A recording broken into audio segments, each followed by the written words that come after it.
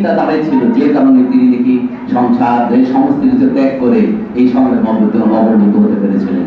আর আমরা জানি যে আমরা দেশ স্বাধীনতার পরে আমরা তো যে লোক আছেন আমরা আছি আমরা উন্নতি করেছি। আপনারা যারা ঐতিহাসিক হাবিবটা বলেছেন যে আপনারা ইতিহাস পড়েছেন, আমরা বাস্তব অবস্থা থেকে জানিয়েছি।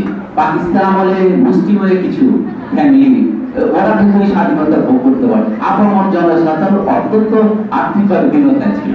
কিন্তু দেশ স্বাধীনতার পরে এখন আমরা দেখি, এই দেশে কোনো জাতি ভেদ নাই, এই দেশের আপামর জনসাধারণ মোটামুটি একই লেভেলে আছে। যে এটার একটা উদাহরণ আমি বলি, আমরা সবাই, এটা আমার একার বলার কথা, আমার এলাকার কথা বলি, যে অর্থনীতির যে একটা বৃদ্ধি আসছে, এটা সব এলাকায় আসছে আপনাদের এলাকায় উদাহরণ আছে। আমি আর দশ দিন আগের কথা বলি, আমি বাড়িতে যাওয়ার পথে একটা ছেলে রাস্তা পেয়েছি। এই ছেলের বাবা বিশ, ত্রিশ বছর আগেও কাঁধের ভার নিয়ে তরকারি বাড়ি বাড়ি। পরবর্তী সময়ে এই ছেলে করতো কি আমাদের যে, আপনারা তো খেয়াল করছেন যে আমরা বাড়ির পাশে চৌখামি বাড়িটা আছে না, সেই বাড়িতে ছেলে কেয়ার টিচার পাঁচ চোদ্দ বছর বয়স কেয়ার টিচার শুধু থাকে বাড়িতে। আমার পাশে একটা বড় বাড়ি আছে কেয়ার টিচার আমি জিজ্ঞাসা করি মান্নান না মান্নান তুমি কোথায় আছো? স্যার, আমি তো ব্রুনাই আছি। আচ্ছা সে কিছুদিন ব্রুনাই থেকে পরে আর কি খবর তোমার?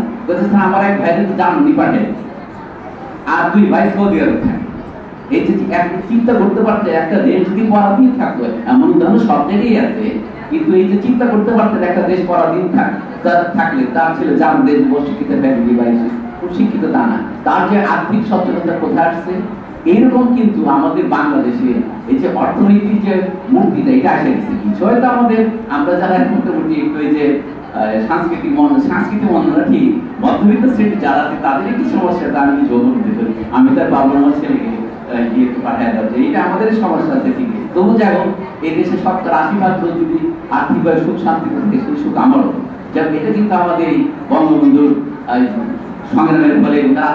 সম্ভব হয়েছে।